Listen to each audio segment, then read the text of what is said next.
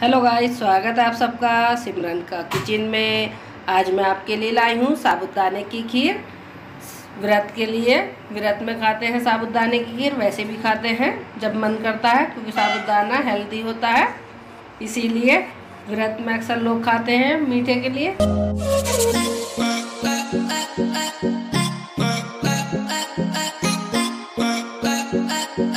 तो हमने सबसे पहले साबुदाना लिया है।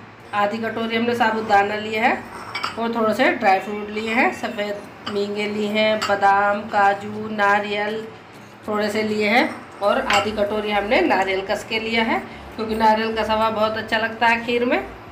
फिर हमने दूध को उबालने के लिए रखा है, क्योंकि हम उबले हुए दूध का इस्तेमाल करेंगे इसमें। एक किलो उबला हुआ दूध है, देखिए।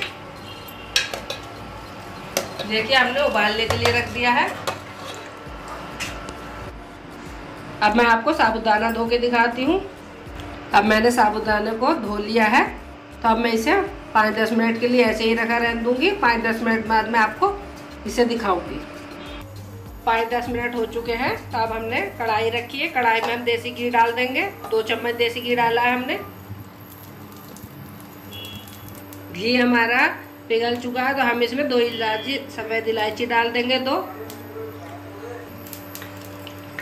सफ़ेद इलायची हमारी अच्छे से भुन चुकी है तो हम इसमें जो साबुदाना हमने पाँच दस मिनट के लिए भिगोया था, हम इसे भी डाल देंगे इसके अंदर।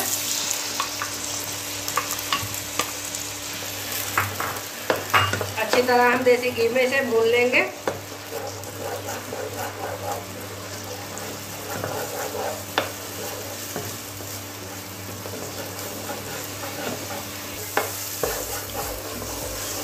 एक दो मिनट हम इसे ऐसे ही चलाएँगे।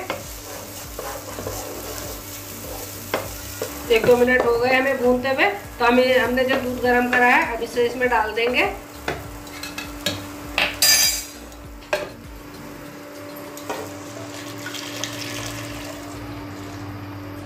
आप भी दूध उबाल के ही डालिएगा, कच्चा दूध नहीं डालना है, क्योंकि साबुदाने से कच्चा दूध हमारा फट जाता है। और आप भी फुल क्रीम वाला ही दूध लेना, मैंने भी फुल क्रीम दूध लिया है। अब मैं इसे 15-20 मिनट ऐसे ही पकने दूँगी। फिर मैं आपको मेवा डाल के दिखाऊँगी। देखिए 15-20 मिनट हो चुके हैं। हमारी साबुदाने की खीर गाढ़ी हो चुकी है। देखिए, अब मैं इसके अंदर चीनी डालूँगी। एक कटोरी मैंने चीनी डाली है। आप अपने टेस्ट के हिसाब से ही डालना।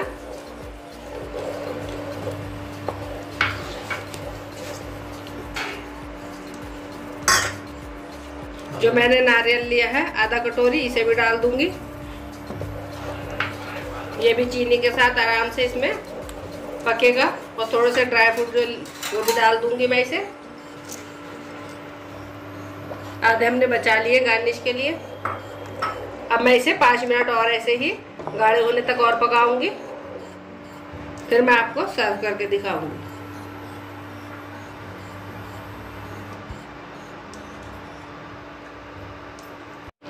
देखिए, पाँच मिनट हो चुके हैं। हमारी साबुदाने की खीर कितनी गाढ़ी हो चुकी है। अब मैं आपको सर्व करके दिखाती हूँ।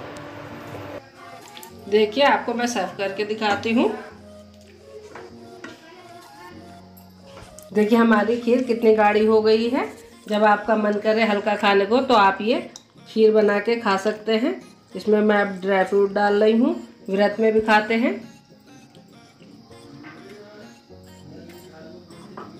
उम्मीद करती हूँ मेरी आपको ये रेसिपी बहुत पसंद आई होगी। अगर आपको ये मेरी रेसिपी पसंद आई तो आप मुझे कमेंट कर सकते हैं, जो मुझे पता चले। आपको मेरी रेसिपी कितनी अच्छी लगी।